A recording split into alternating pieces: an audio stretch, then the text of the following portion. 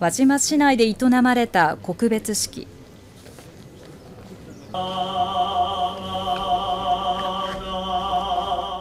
式場には恩師や多くの同級生の姿がありました。先月の豪雨で亡くなった中学3年生木曽ハノンさん。一人で家にいて住宅ごと川に流されました。安否がわからなくなって9日後ハノンさんが見つかったのは輪島から遠く離れた福井県の沖合でした。漁師さんは娘さんは頑張りました。褒めて褒めてくださいと言った言葉に涙が止まりませんでした。じいちゃんばあちゃんの出張朝市のお手伝いもしたいと言っていました。泣いてばかりいたらあのも心配するから。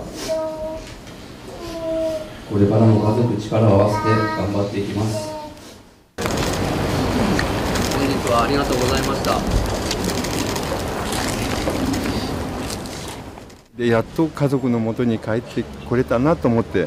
私たちももうそれに関しては喜んでいます。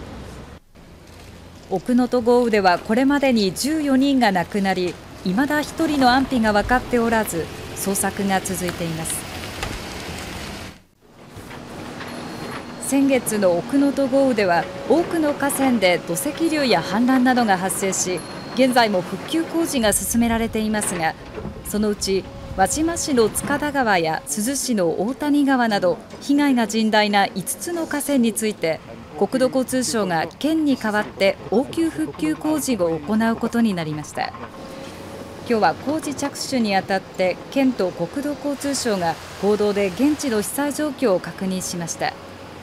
川底の土砂や流木の撤去崩れた護岸に大型の土のを積むなどの応急復旧は来年の出水期までをめどに完了しその後本格復旧工事に取り掛かるということです。先月の奥能登豪雨で輪島市や珠洲市など奥能登地域で少なくとも15棟が全壊400棟余りが浸水被害を受けています。県によりますと輪島市と珠洲市には国の被災者生活支援制度が適用されることになり全壊などの住宅被害を受けた世帯に最大300万円の支援金が支給されることになりました。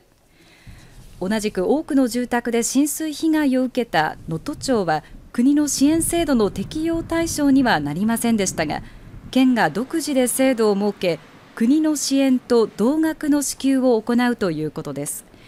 また国の制度では半壊の被害が支援の対象から外れているため県が独自で100万円を支給するとしています。輪島市門前町の総持寺通り商店街では元日の地震で34ある店舗のうち20店舗が大きな被害を受け営業できない状態が続いていました。こうした中市が11区画の仮設店舗を整備し今日までに営業の準備ができた6店舗がプレオープンという形で営業を開始しました。早速常連客などが訪れ9ヶ月ぶりの営業再開を喜び合ったり談笑したりする姿が見られました。やっぱり嬉しいですね店。いつもお邪魔してた店やし頑張ってほしいですみんな。嬉しい限りです。今まで何もできなくてやっぱお店できると皆さん来てくださってどうやとかいろいろお話もしたりして、あの元気もらってます。今後残りの区画についてもそれぞれの店舗の準備ができ次第営業を開始する予定で来月9日にはオープンを記念したセレモニーが開かれます。この工芸フェスタは金沢市が毎年この時期に開いているものです。